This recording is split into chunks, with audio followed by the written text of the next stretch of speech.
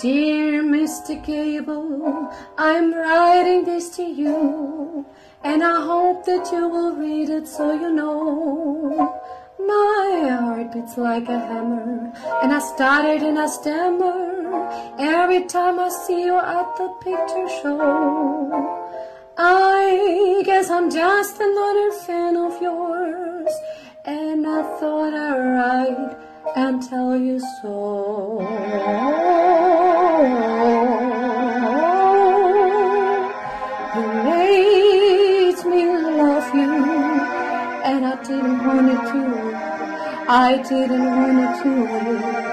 You made me love you, and all the time you knew. I guess you always knew. You made me happy sometimes. You made me sad. But there were times,